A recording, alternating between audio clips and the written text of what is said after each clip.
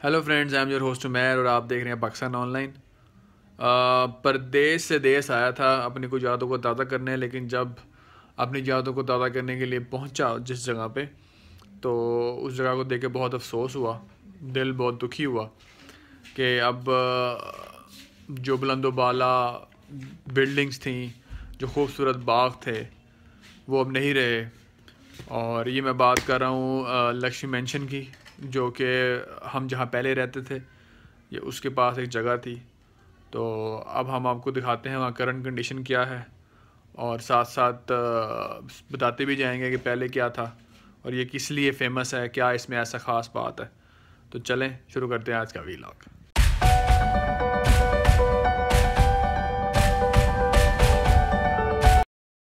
तरह आप अभी जगह देख रहे हैं, यहाँ पर ये बेसिकली लक्ष्मी मैंशन है, जो खसूसियत यह है कि यहाँ पर एक एक्स प्राइम मिनिस्टर एक अफसाना नवीस और एक सफ़रनामा नगार यहाँ पर रह चुके हैं।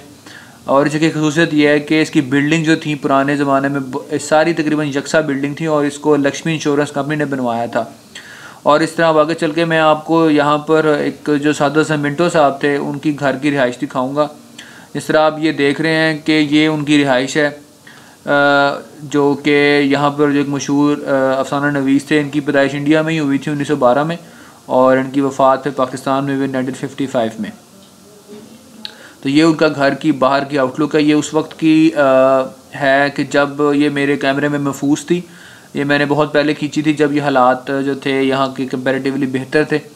लेकिन अब जो है हालात यहाँ के बिल्कुल भी इस तरह की नहीं है। मैं आपको आगे चल के इसकी करंट कंडीशन भी दिखाऊँगा कि जो अब इसकी हालात यहाँ के जो बावसूख लोग हैं उन्होंने जिन्होंने प्लाजों के चक्कर में इसके साथ क्या हशर किया है इसका आ, वो मैं आपको अब आगे चल के दिखाऊँगा। अब आप और ये जिस तरह आप देख रहे हैं ये इस की अब मौजूदा कंडीशन है इस घर की जो यहाँ के जो बा असर और रखने वाले बारोब लोग लोगों ने जो है ना इसका जो है हशर और नशर कर दिया है और इर्द गिर्द जो है प्लादे खड़े कर दिए और इसका जो है ना जो एक सकाफ़त थी हमारी कल्चरल चीज़ थी उसका क्या बेड़ा गर्क कर दिया आप देख सकते हैं। आ, ये इसकी दूसरी दूसरे एंगल से मैंने फ़ोटो ली थी ताकि इसका एक पूरा आइडिया जो है देखने वालों को जाए और उनको पता हो कि क्या हालात यहाँ पर अब चल रहे हैं। में मैं इसकी 360 डिग्री वीडियो बना रहा हूँ, जिसको बड़े भारी दिल के साथ बना रहा हूँ। मेरा दिल बहुत दुख रहा है थ्री सिक्सटी डिग्री बना के आपको दिखाते हुए कि ये जो इसके मौजूदा हालात हैं, वो उससे मैं बहुत दिल बर्दाश्त हूँ, लेकिन फिर भी एक आइडिया देने के लिए आप लोगों को मैं बना रहा हूँ।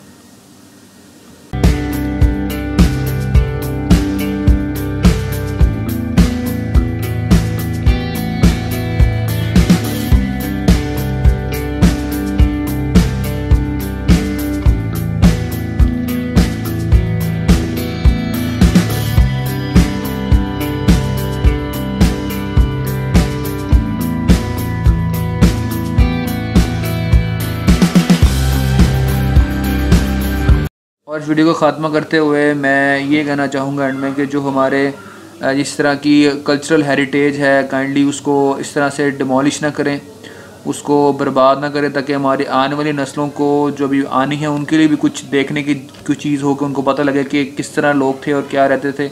इस तरह ये तो ऐसे ही है कि हम चिड़िया के घोंसले जो बनाए चिड़ियों ने, उनको हम तोड़ी जा रहे हैं और परिंदों को उनसे उड़ाई जा रहे हैं। घर से लोगों को बेघर कर रहे हैं और बर्बाद कर रहे हैं। सिलसिला तो इस तरह ही चल रहा है। अगर इसी तरह करते रहेंगे तो आने वाली नस्लें हमें कभी माफ़ नहीं करेंगी।